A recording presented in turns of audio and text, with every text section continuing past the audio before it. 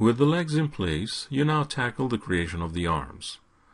The process is fairly similar to the creation of the leg bones, with one notable difference though.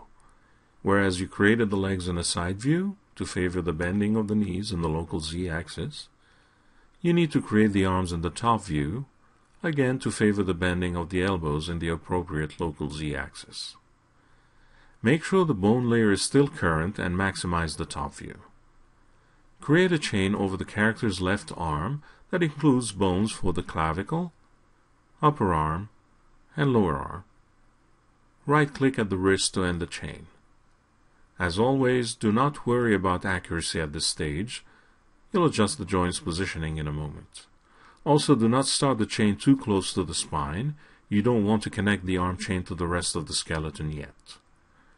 At this stage, the arm chain is created on the floor. In the front view, select the clavicle bone and move it up so that the chain is at the appropriate height. Go to the Bone Tools dialog and enable Bone Edit mode. In the front view, adjust the position of the bones in a left-right direction only. It is particularly important not to break the line between upper and lower arm bones. Remember that the elbow joints rotate in only one direction, much like the knee you worked on earlier. Also, pay special attention to the position of the shoulder and elbow joints. These are often misplaced, especially the shoulder bone if it's placed too low on the arm. If you feel the bone chain is globally too high or too low, exit bone edit mode and adjust the clavicle. You can even rotate the clavicle slightly if you need to. You still need to adjust the chain in the top view to make sure the joints are in the right place.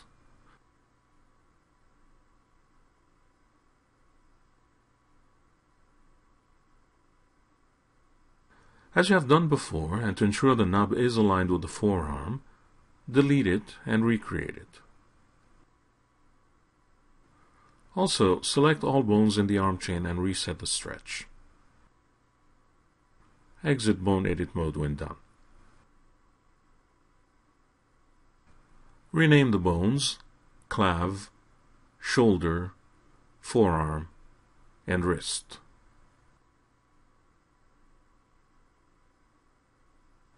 Use the Rename Objects dialog to force a zombie underscore L underscore prefix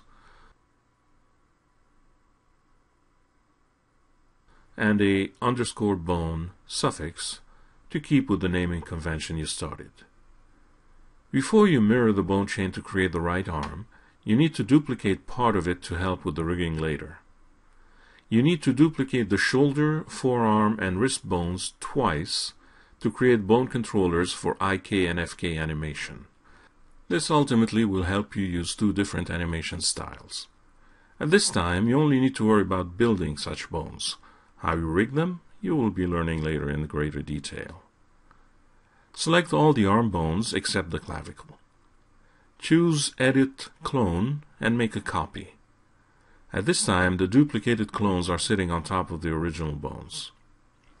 In the Bone Tools dialog, set the copied bone sizes to be slightly bigger in order to see them better, about 1.2 in width and height. You can also change their wire color for better visibility. Choose from the 3ds Max palette or from the AutoCAD palette for more color choices. You also need to adjust the bone names. At this time, the duplicates share the names of the originals, with a 001 suffix added to their names. Double-click the duplicated shoulder bone to select the new chain. In the Rename Objects dialog, enable Remove Last and set it to 7 digits. This will take care of the bone 001 suffix currently present. You need to replace it with a new suffix, identifying an FK chain. Enable suffix mode and type in fk underscore bone as a new suffix. Click the Rename button and verify the new bone names. Repeat the procedure to create an IK chain. Start by selecting the original chain by double-clicking the shoulder bone. Make a copy, and this time make the duplicate slightly smaller, about 0.8. Choose a different wire color for the new chain.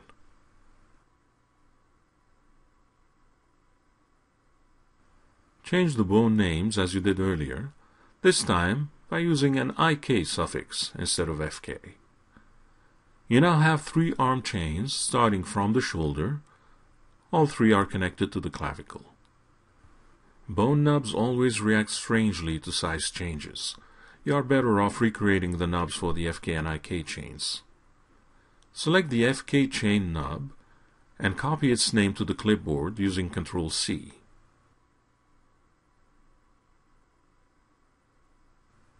Delete it and then recreate it by selecting the FK forearm and using Create End.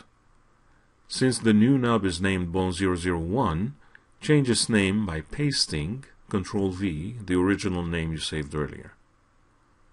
Repeat the procedure for the IK nub.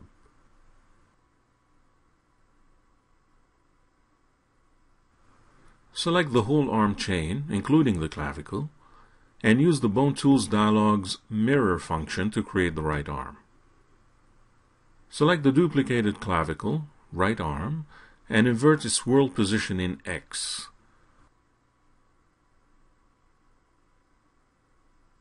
The arm is now properly mirrored. As you have done multiple times by now, use the Rename Objects tool to get rid of the mirrored suffix.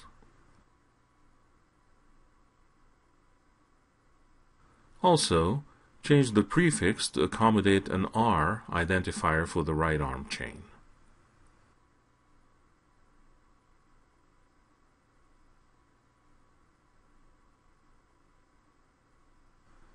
As you had done earlier with the legs, you still need to adjust the local rotations of the mirrored limbs. Select both clavicles, and then press page down to select all upper arm bones. Using the Rotate tool in local mode, make sure the rotation mode is based on object's pivot points. Check out the rotations in Y. The arms rotate nicely as you would expect. The Y rotation is working well here, as it did with the legs.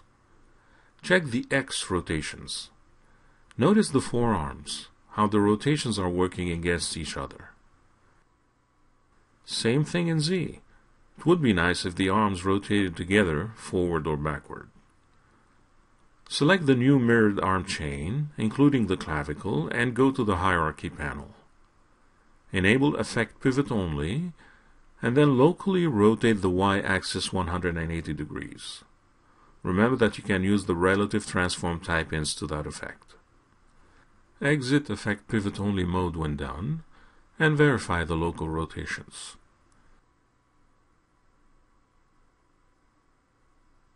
At this stage, you're really repeating the workflow you had done with the legs earlier.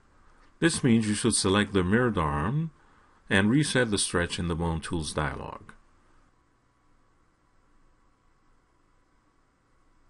This also means you would need to invert the size values to get the bones to look right.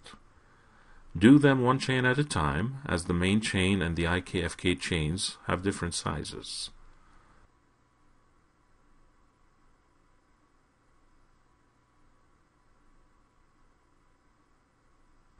Lastly, you'll need to recreate the nubs. Address them one at a time. Make sure you copy the nub name to memory first, so you can paste that name to the newly created nub.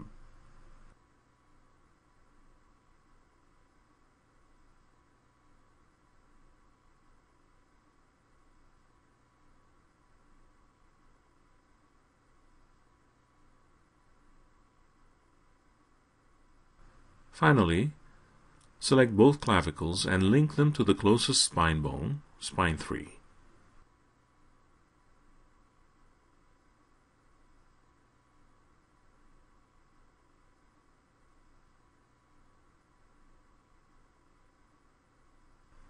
Save your file.